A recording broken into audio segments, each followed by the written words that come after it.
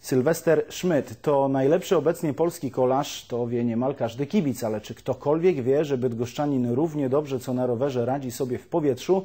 Sylwester Schmidt chce zdobyć licencję pilota. Proszę o szczególną uwagę, bo materiał, który za chwilę Państwo zobaczą, jest absolutną premierą. Tego jeszcze nikt nie widział.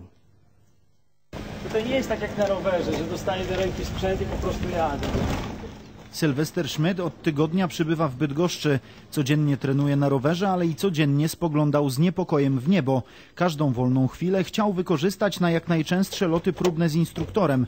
Wreszcie się udało. Na lotnisku w Lisich Kątach pod Grudziądzem podglądaliśmy najlepszego obecnie polskiego kolarza w nietypowej dla niego roli. Trzeba wiedzieć to, co się robi. Nie można na chwilę gdzieś tam odpuścić, o- odpłynąć, e, czy tak jak mówię, przede wszystkim koncentracja. Jak na wyścigu musimy uważać to, na to, co się dzieje. E, Tak samo, tak samo w samolocie, może nawet tym bardziej trzeba, trzeba uważać na to, co, co się robi i co się w koło dzieje.